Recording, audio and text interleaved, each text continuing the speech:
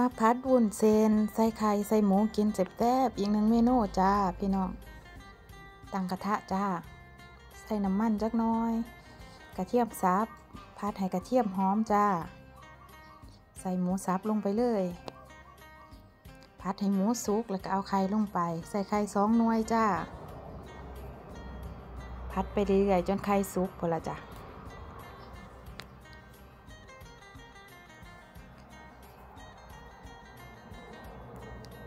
ใส่กะหล่ำปีจ้าปรุงรสซอสฟ้าเขียว น้ำตาล ผงนัวจ้าผงปรุงรส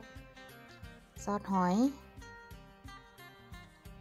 ซีอิ๊วดำจักน้อยจ้า เพิ่มสีสัน เอาวุ้นเส้นลงไปเลยจ้าวุ้นเส้นแซ่ก่อน ให้มันอ่อนจังเอา ลงไปพัดจ้ะ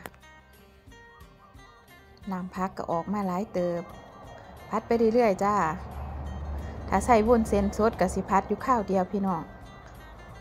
อันนี้เป็นเส้นแห้งๆเฮามาแช่น้ำเอานะจ๊ะพัดไปเรื่อยๆ จนเส้นสุกพอละพร้อมเสิร์ฟจ้าโห้อยพริกไทยจักน้อย เพิ่มความหอมแซ่บๆอีกหนึ่งเมนูจ้ะพี่น้อง คลิปนี้เอาไว้ซ้ำนี้จ้า คลิปหน้าพอกันไหม สวัสดีจ้า